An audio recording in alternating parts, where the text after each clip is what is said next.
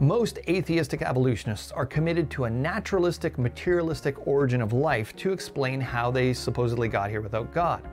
And if that worldview is true, then there shouldn't be any non material quantity to the universe.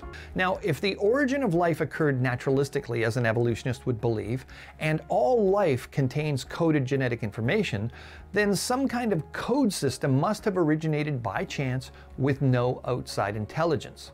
From what we've observed in science, the evidence in biology and microbiology is not supporting the atheistic worldview. All living things operate and replicate using vast quantities of coded information which is stored, read, transcribed, and translated. And if that code we see inside life is the most sophisticated code we've ever seen, it's logical to conclude that it originated in the most intelligent mind we can imagine, the Creator God of the Bible, Jesus Christ.